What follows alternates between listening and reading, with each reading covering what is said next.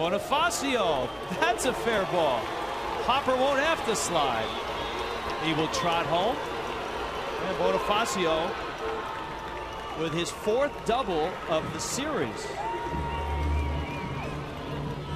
I think you have to consider him as a bright spot if you're searching for them on this series. Not only in this series, but against uh, his former team, the, the Diamondbacks. He has 12 hits this year against the Diamondbacks in 24 at bats. So he's hit 500 against Arizona this year in the series in the desert